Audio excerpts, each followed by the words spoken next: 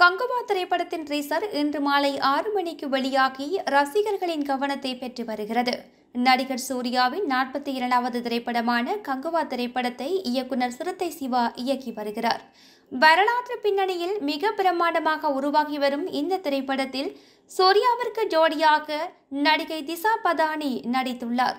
வில்லனாக அண்மையில் அனிமல் திரைப்படத்தில் வில்லனாக நடித்து பிரபலமான பாபி தியோல் நடித்துள்ளார்.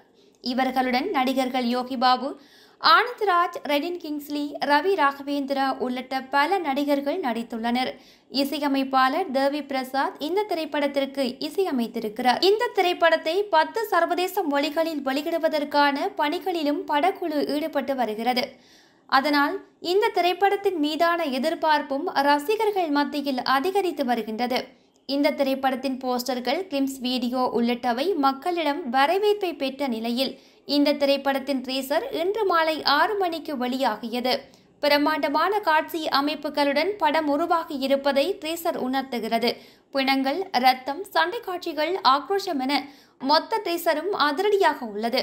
சூர்யாவின் அறிமுகமும் தோற்றமும் அதனை ஈர்க்கும் அளவிற்கு இணையாக பாபி தியோலின் மிரட்டும் என்றி படத்தின் மீதான ஆவலை கூட்டுகிறது.